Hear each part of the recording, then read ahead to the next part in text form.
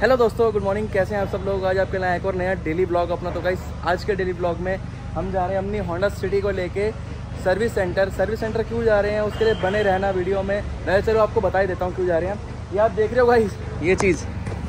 ये लैम्प का हाउसिंग वगैरह सब टूटा हुआ है। बम्पर भी थोड़ा हमारा ख़राब हो रखा है। तो ये सब चीज़ें हम ठीक कराने जा रहे हैं अपनी गाड़ी में। बहुत बद्दी लग रही थी। आप लोगों की मेरे को रेगुलर कमेंट्स आ रहे थे कि तुषार भाई परफॉर्मेंस का काम तो आपने कर लिया। यार अब कॉस्मेटिक का भी काम थोड़ा बहुत कर दो तो थोड़ी गाड़ी को सुधार दो अपनी गाड़ी को। तो गाइज़ वही कराने जा रहे हैं हम आज। अब अपनी गाड़ी पे कॉस्मेटिक अपग्रेड्स करने वाले हैं। क्या क्या करेंगे, वो सरप्राइज़ है वीडियो में, बने रहना। लेकिन हाँ ये बता रहा हूँ कि फ़र्स्ट टाइम इन इंडिया होने वाला है, ठीक है अपना। तो और एक और चीज़ आपको दिखाऊँ? पक्का? एक सरप्राइज़ ये क्या खड़ा है? ये ये देखो क्या खड़ा है भाई। एक बार को लो इससे तो पहचान जाना, कौन सा वाला? पीछे भी दिखा देता हूँ। ये पढ़ो। जीटी लिखा है। ठीक है? तो भाई पोर्टस जीटी मज़ाक नहीं करूँगा गाइज़ अपनी नहीं है। ठीक है? अपनी बहुत जल्द आने वाली है, ऐसी दिखेगी। बट ये हमारे एक फ्रेंड की है। तो बाकी, बस दिखाना था भाई। अपना भी एक दिन ऐसे ही आएगा। अपनी खड़ी होगी इसी सेम पार्किंग लॉट में, ठीक है? सेम टू सेम फ़िलहाल, इसके साथ चलते हैं। बाकी जब दोनों का ना लुक चेकआउट करो यार। दोनों एकदम आमने बगल बगल में खड़ी होती है तो कैसी क्या लगती है? सिटी बढ़िया लगती है या बॉक्स वॉक्स वर्टस लगती है? देखो मेरे को तो पर्सनली वर्टस ही अच्छी लगती है यार। मतलब इतना लुक देखो भाई, कितना का तो बल्कि लुक आ रहा है, एकदम ऑडी वगैरह की लुक देती है ये ऑडी बी की। भाई साहब, ज़रूर खड़ी करेंगे यार इसको एक दिन। बाकी तो भाई जब पेट्रोल डलवा लेते हैं अपनी गाड़ी का भी। देख लीजिए। बीस की रेंज बची है। एक्सपी 95 डलवाएँगे अपने तो भाई। 95 ही चाहिए। आपको तो पता ही है एक्सपी 100 डालने के बाद तो गाड़ी।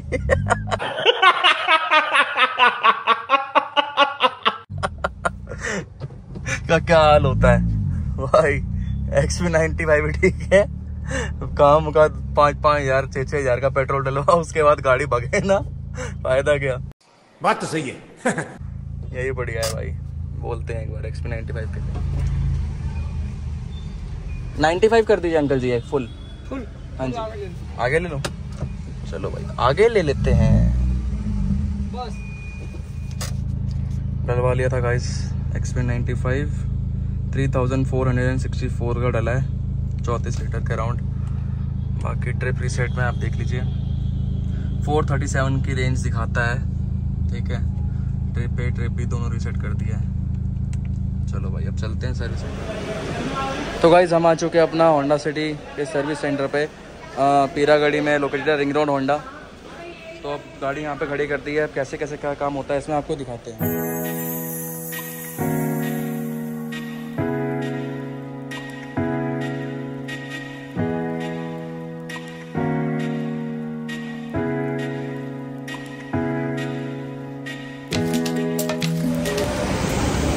भाई लोग, ऐसे कुछ लोग आते हैं जब बिना बम्पर की गाड़ी होती है तो। क्या बात? आए वेट से आए वेट से ये पड़ा है पुराना बम्पर अब आप देखना है इसमें नया क्या लगने वाला है। आए वेट से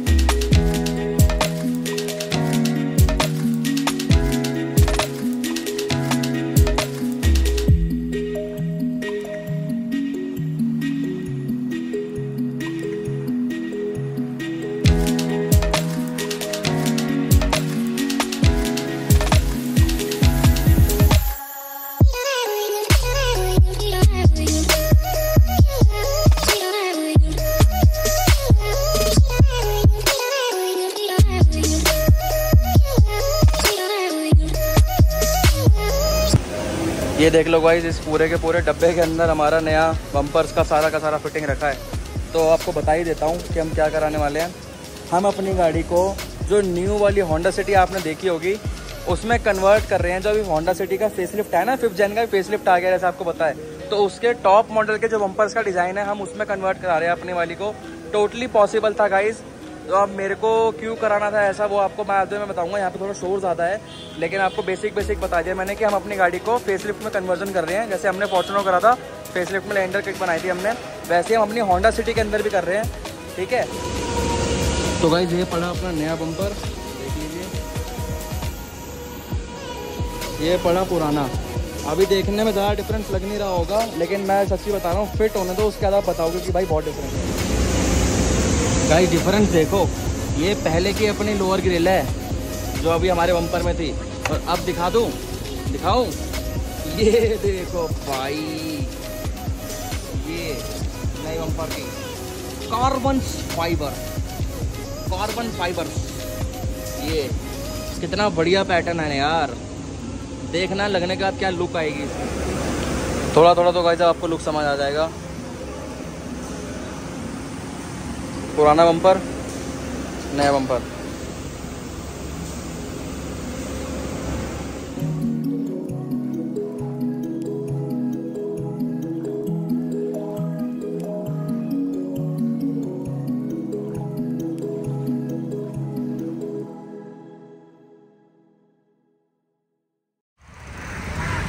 तो गाइज़ अभी आप फ़िलहाल देख रहे हो डे टू हमारा, आज डे टू है। अभी आपने पहले एक क्लिप्स में देखा था कि हम होंडा के शोरूम में थे, अपने किट को फिट करवा रहे थे। अब हम फ़िलहाल खड़े हैं, देख लीजिए।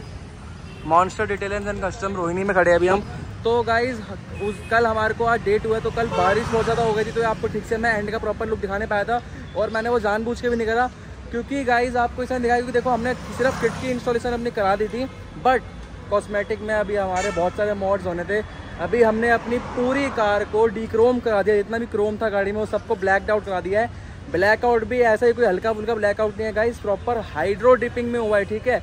तो इस बार आपको लुक अब प्रॉपर तरीके से दिखाऊँगा। आप गाड़ी यहाँ से पिक कर लेते हैं, ठीक है? उसके बाद आपको प्रॉपर ओपन जगह में चल के प्रॉपर सिनेमैटिक शूट आपको दिखाऊँगा, ठीक है? तो यहाँ पेमेंट वेमेंट कर लेते हैं, उसके बाद आपको लेके चलते हैं प्रॉपर लुक दिखाने के लिए। बस थोड़ा और वेट कर लो।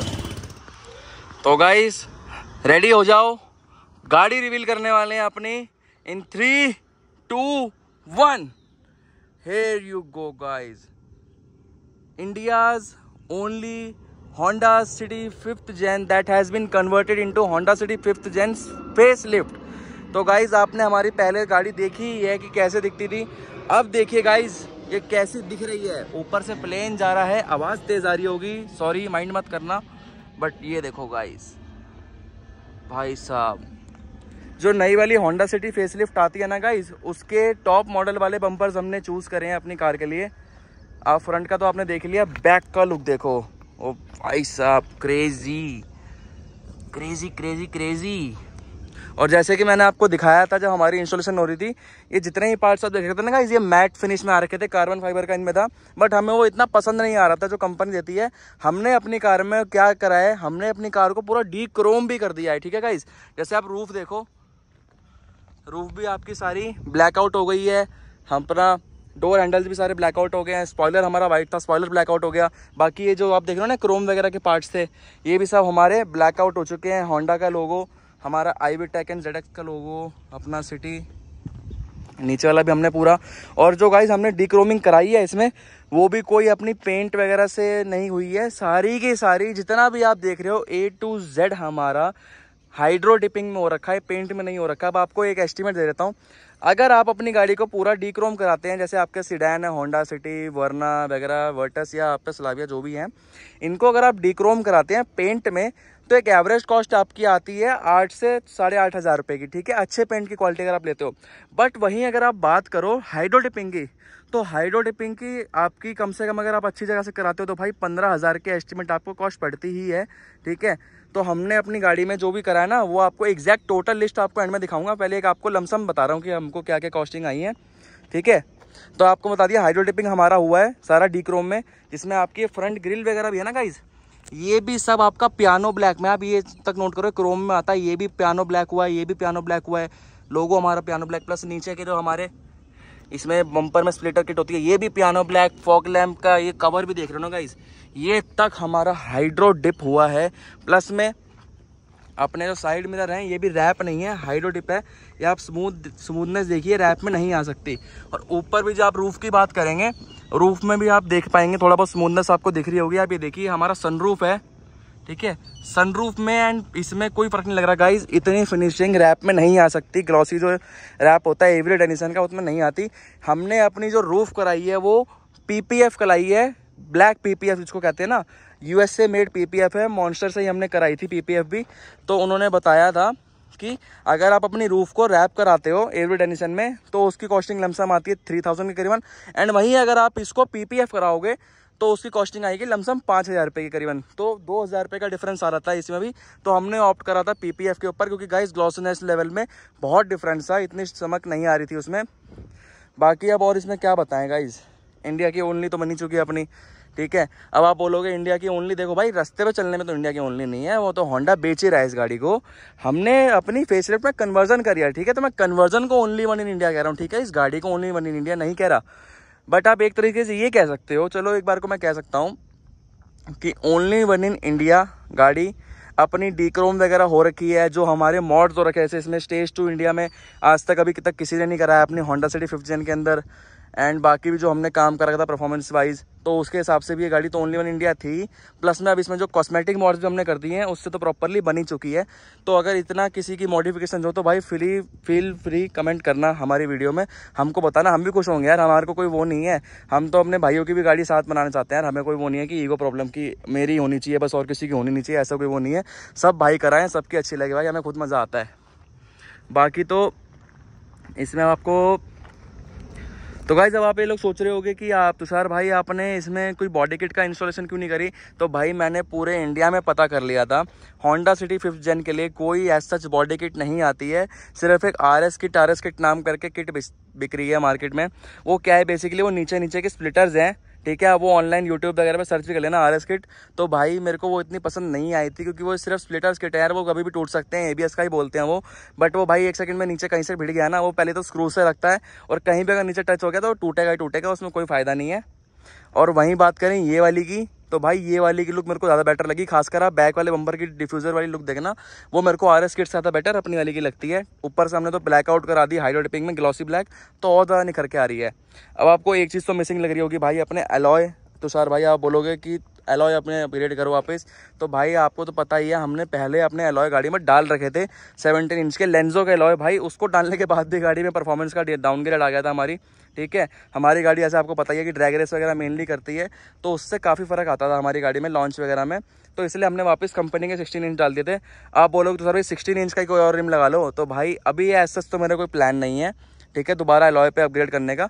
अभी मैं कंपनी के रन करता हूँ, जब मेरा थोड़ा ड्रैग का कंटेंट खत्म हो जाएगा, मैं इस गाड़ी से पूरी ड्रैग से निपटा दूँगा अपनी तो उसके बाद मेनली मैं इसमें अलॉय क्या पता शिफ्ट कर दूँ बट अभी के लिए तो मेरा कंपनी वाला ही ओके चल रहा है, मेरे को ऐसा कोई दिक्कत नहीं है उससे।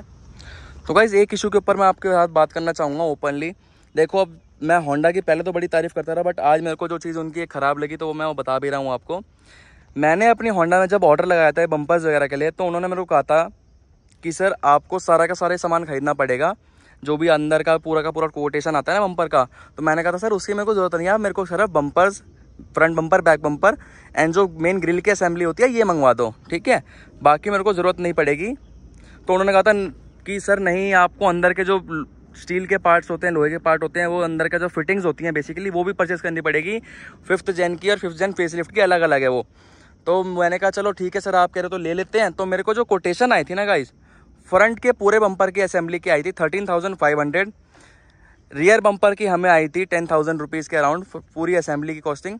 एंड जो फ्रंट के ग्रिल्स है ना गाइस अभी तो तेरह हज़ार पाँच सौ आपको मैंने बम्पर के पार्ट्स के बारे में बताया है। ग्रिल तो अभी पेंडिंग है ऊपर वाली, ठीक है? तो ऊपर वाली ग्रिल की कॉस्टिंग आई थी सिक्स थाउज़ेंड करीबन विद असेंबलीज तो भाई मेरे को एवरेज कोटेशन जो आया था थर्टी सिक्स थाउज़ेंड करीबन आया था, ये आपको तो मैंने बता दिया। प्लस में पेंटिंग चार्जेस जो होते हैं ना कंपनी के थोड़े एक्सपेंसिव होते हैं तो पेंट का चार्ज मेरे को जो पूरे आया था, वो आया था एट थाउज़ेंड करीबन, जिसमें front bumper and back bumper include था। ये सब तो मैंने बाद से कराया है, ठीक है? सिर्फ़ front bumper and back bumper के उन्होंने आठ हज़ार रुपये करीबन लेते मतलब चार हज़ार रुपये बम्पर अब उसके बाद आप बात करो भाई तो ये कोटेशन मेरे को आया था, इसके लिए मैं एग्री हो चुका था। पार्ट्स मेरे आए पहली बात तो पार्ट्स जो एक हफ़्ता, डेढ़ हफ़्ता बोला था, वो पार्ट्स को आने में एक सौ महीना लग गया तो भाई उसमें बहुत डिले होगा। छोटे छोटे पार्ट्स के लिए बहुत डिले कराया गया होंडा की तरफ़ से। अब जब फाइनल बिल हुआ ना गाइस तो मेरा कोटेशन पहुँच गया फोर्टी नाइन थाउज़ेंड रुपीज़ का। अब मेरे को झटका क्या लगा कि भाई, जहाँ हमारा थर्टी सिक्स थाउज़ेंड का कोटेशन था, वहाँ फोर्टी सेवन थाउज़ेंड कैसे पहुँच रहा है? तो उन्होंने कहा, सर, आपका जो अभी हमने कोटेशन थर्टी सिक्स थाउज़ेंड का भेजा था, उसमें बम्पर्स इंक्लूड ही नहीं थे। मैंने कहा, यार थर्टी सिक्स थाउज़ेंड रुपीज़ देने के बाद भी उसमें फ्रंट एंड बैक बम्पर ही इंक्लूड नहीं है। तो उन्होंने कहा हाँ जी सर मेजरली जो कॉस्टिंग थी, वो सारी की सारी जो अंदर की फिटिंग्स की थी एंड ग्रिल वगैरह की थी, उसकी थी बम्पर्स की कॉस्ट इंक्लूड नहीं थी, क्योंकि बम्पर शो नहीं हो रहा था। तो मैंने कहा, यार भैया, इतना ज़्यादा डिफरेंस भाई, मैं कैसे करूँगा? आप बता तो सकते थे मेरे को। फिर इशू क्या आया कि मैंने कहा, भैया मैं वापस भी नहीं करा सकता कुछ सामान। ऐसे कर करके ना मेरे को जब हमने फिटिंग करना चालू करा गाड़ी में तो जो पुराने अंदर की जो मेन बलगार्ड्स वगैरह होते हैं ना गाइस वो मेरे सेम टू सेम थे फेस लिफ्ट के और इसके तो मैंने वो चीज़ भी मैंने बोली कि मैंने कहा, सर, ये सेम टू सेम था, फिर आपने मंगवा दिया मेरे लिए तो इसको वापस लो। तो उनने कहा, सर, वापस भी नहीं हो पाएगा, अभी हमारा ऑर्डर लग गया है डेली में बिक नहीं सकता ये वो। तो यार मैंने कहा, भैया, आप रेट भी मेरा कोटेशन थर्टी सिक्स थाउज़ेंड का फोर्टी सेवन के अराउंड लेके फोर्टी नाइन के अराउंड लेके जा रहे हो और मेरा इतना सारा पार्ट जो अंदर का वेस्टेज था, वो भी आप मेरे को खरीदवा रहे हो। यार तो ऐसा तो मत करो। तो उस चीज़ में फिर मैं बहस ज़्यादा कर नहीं सकता था, उनसे यार फिर रिलेशन खराब वाली बात होती है। तो ये जी भी मेरे को खरीदनी पड़ेगा। अगर आपको सिर्फ़ मैं बम्पर की कॉस्ट बताऊँ ना भाई तो फ्रंट बम्पर की खाली कॉस्ट करीबन four thousand five hundred rupees है एंड बैक बम्पर की कॉस्ट करीबन four thousand eight hundred rupees है। सिर्फ़ बम्पर बम्पर की कॉस्ट बता रहा हूँ।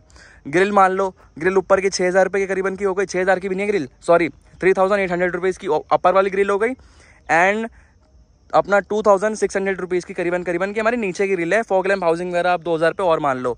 तो भाई, कहीं ना कहीं करते मेरा दस से पंद्रह हज़ार रुपये में काम हो सकता था, सिर्फ़ बम्पर अगर मैं लेता और पेंट की कॉस्ट भी मान लो, चलो, हद मार के बीस हज़ार रुपये में, ऊपर से ऊपर में मेरा पूरा का पूरा काम हो जाता।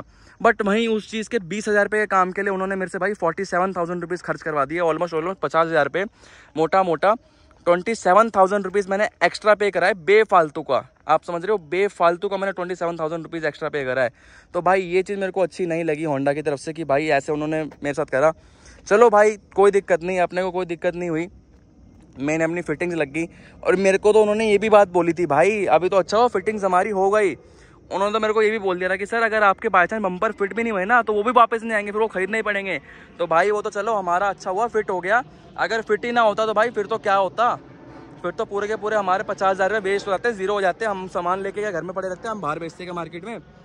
तो यार, ये चीज़ का थोड़ा ध्यान रखना चाहिए होंडा वालों को। यार, जब आपकी अननेसरी चीज़ आप क्यों कस्टमर को बेच रहे हो? और एक बार को चलो, इतना समझ आता है, चलो, आपने मंगा लिया था वापस करवा दो ना, जब मेरे किसी काम की नहीं हो चीज़ तो ये क्या मतलब है कि सर, वापस नहीं हो सकता, ये नहीं हो सकता? चलो भाई, होता होगा कुछ ना कुछ। अब वही है, बेचने का चीज़ है एक बार कस्टमर को काट दिया तो काट दिया। लेकिन अगली बार से भाई, आप लोग ध्यान रखना, अगर आप में से कोई भी अपना करा रहा है होंडा सिटी फिफ्थ जेन को फिफ्थ जेन के फेस लिफ्ट में कन्वर्जन एंड बाई कंपनी के थ्रू जाना चाहिए, क्योंकि बेसिकली बताऊँ, चक्कर क्या है?